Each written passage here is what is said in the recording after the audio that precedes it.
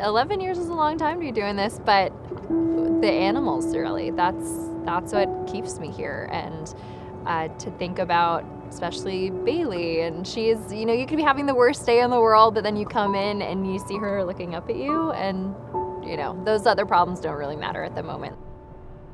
I can make eye contact with her, and she'll come over, and she'll just put her little pectoral fin up, um, and her and I have established a high five thing. She's not expecting fish from it. She just seeks out the connection, and that's our little our little game. The relationship is so important. That trust and the bonds that we have with them. I've been able to get Bailey through some hard times too, and, including when she wasn't feeling well just because of that bond. We spend more time here with them than we do our own families and Christmases and Thanksgivings and all that. So they become your family and, and you bond with them we're trying to build up the trust now and to know that we're going to have to rely on it later, especially when they get to the sanctuary is that they're going to have to have to trust us through all this or even when they're moving because that's who they're going to be looking to to get them get them acclimated and get them used to where they need to be.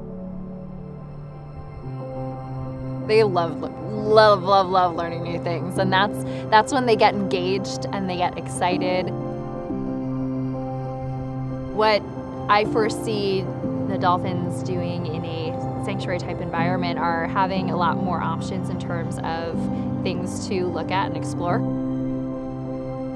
We can certainly maintain the standard status quo with our animals, but that's not inevitably what's best for them. As we learn more about them, we need to do something different and we need to move forward. We're in the process of trying to find a site for the dolphins. And with new technology and new insights into what we know about these animals, I think we can build something that's pretty great. To get to be a part of this is is huge and we're forging a path here and that's it's scary but it's also exciting.